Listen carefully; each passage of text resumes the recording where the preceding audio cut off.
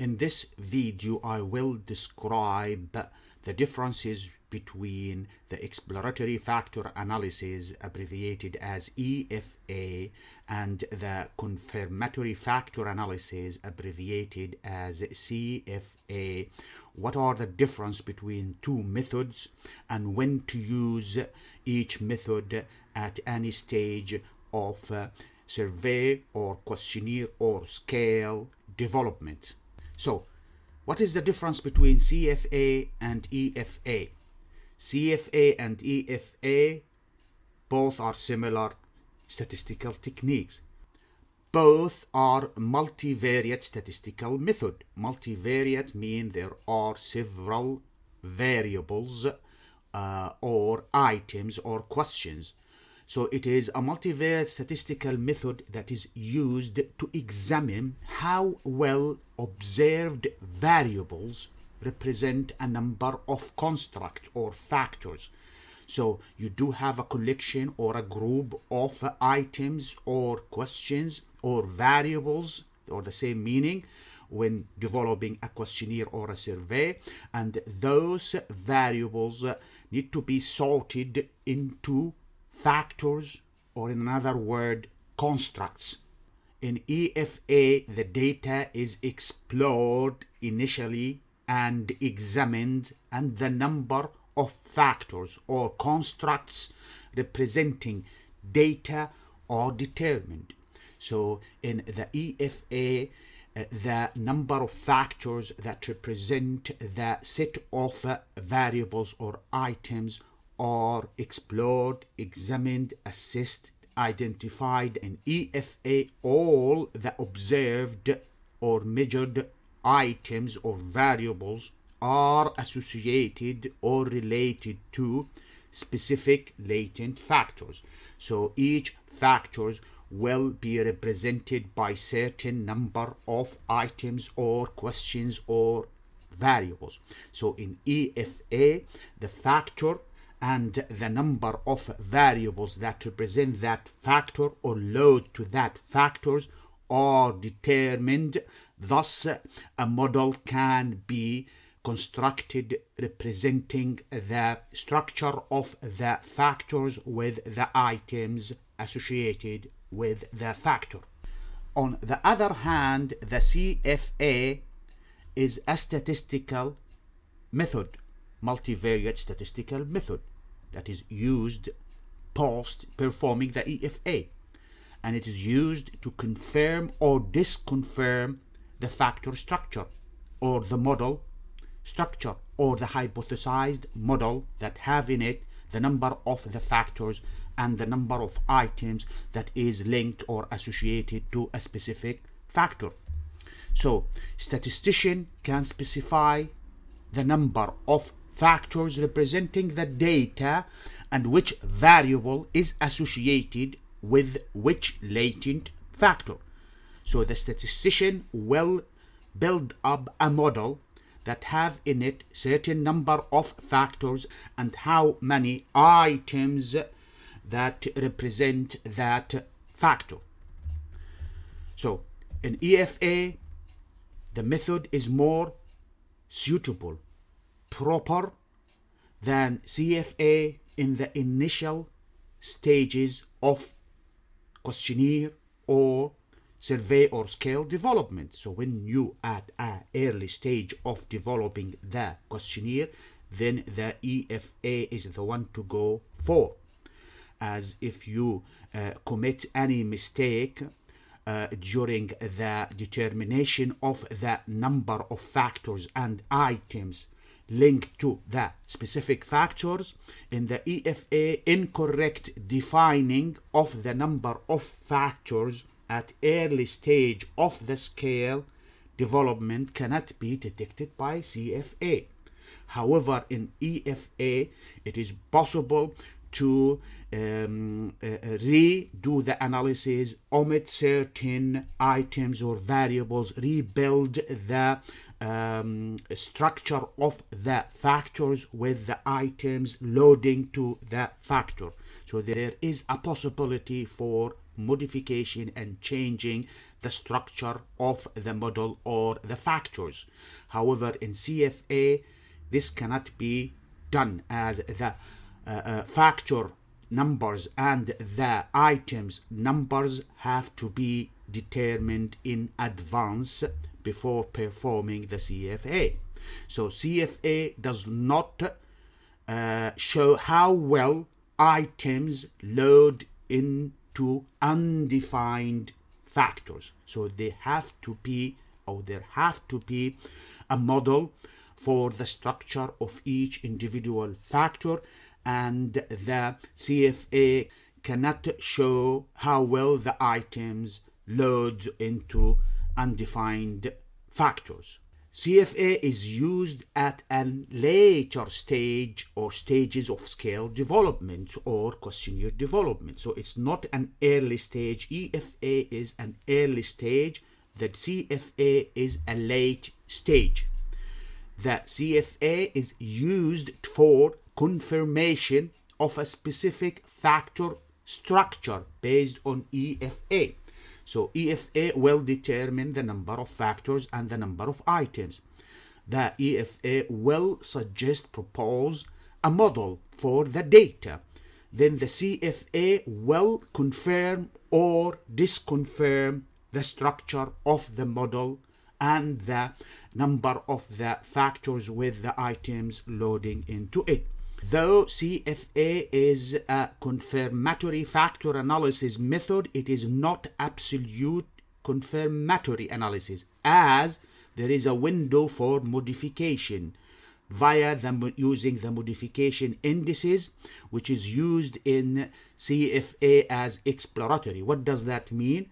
That means you could have a possibility to modify the structure of the um, model by omitting specific items that does not well fit or represent the factor structure. So modification indices can improve how well the model fit the data. Though there are certain differences between the two methods, again, EFA is an early stage, CFA is a later stage, EFA can be performed without any knowledge or hypothesis or information about the structure, the number of the factors and the number of items linked to specific factors. In CFA, things have to be clear and well defined in advance. A model has to be uh, built, sub Uh, uh, proposed hypothesized structure for the data with the number of factors and the number of items have to be clear when performing the CFA. Though the CFA has a flexibility in, in a way that it is possible to omit certain items that does not uh, or do not uh, represent well or load well into certain or specific factors. So EFA is used when researchers don't have a clear understanding or hypothesis about the structure of the factor. There is no model for the data.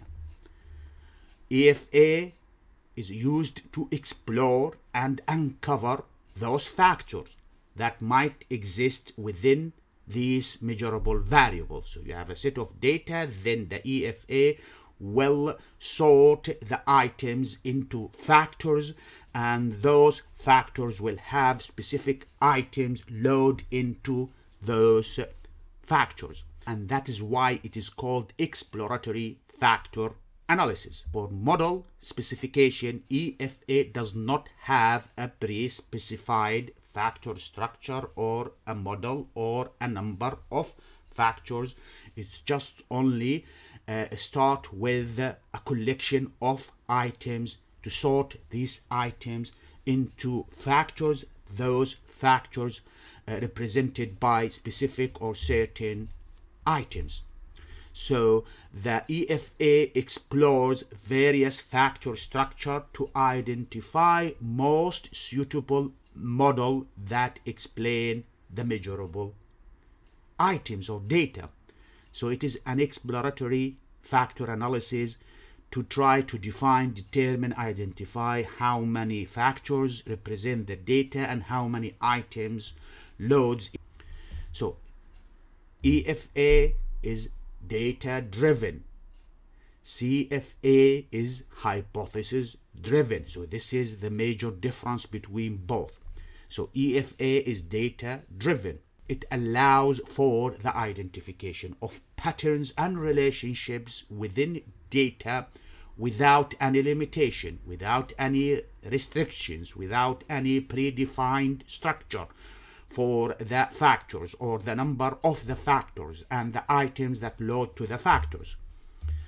So EFA presumes that any observed variable may be related with any factors. So the EFA assumes at the beginning that any items can be associated with any factors and then the uh, EFA will determine and define which items or item will uh, is associated with a factor.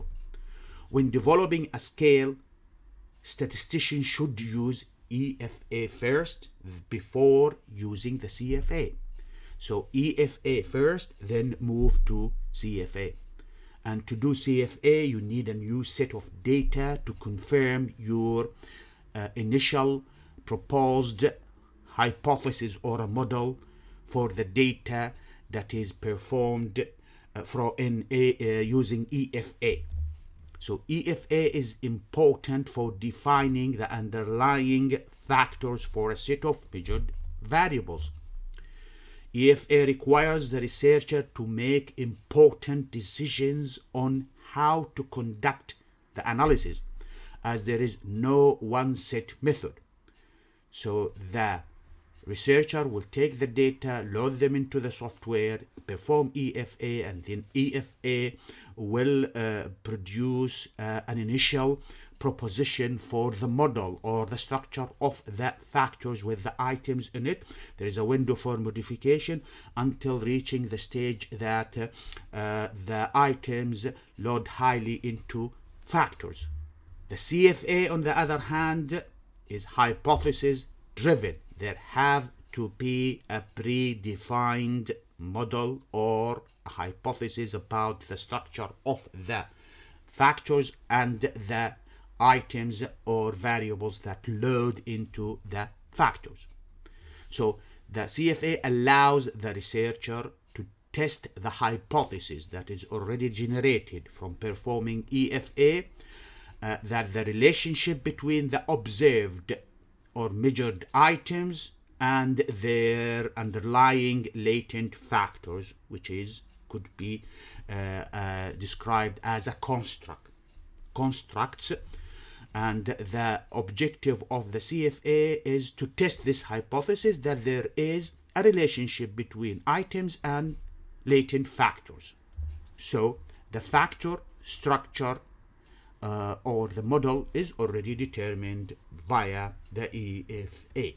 So the message here is that EFA has to be done first, then the CFA can be performed later on a new set of data to confirm or disconfirm the initial uh, proposed uh, model for the structure of the factors that represent the data. If you find this video useful, do subscribe to the channel leave any comment in the indicated uh, box and activate the notification bell to receive the recent and uh, latest release uh, into the channel of uh, several different video clip. And click on the like icon and share the video link with others. So the channel can expand and improve to include a large scope of uh, different statistical method and how to analyze data using uh, several different uh, statistical packages such as SPSS, Excel, Stata, Jamovi, R Statistic, or Statistics, GraphPad, Prism, GPower, Python, and RevMan. if you are a student or a researcher and you have a data whether it is um, um, quantitative or qualitative and you want to perform statistical uh, analysis on that data using any of the softwares listed here whether it's SPSS, Excel, Stata, Jamovi, R Statistics, GraphPad, Prism, RevMan, GMP, Python. Then do contact me to arrange for either a one-to-one -one private tutor session or a training course uh, on any of these uh, statistical packages.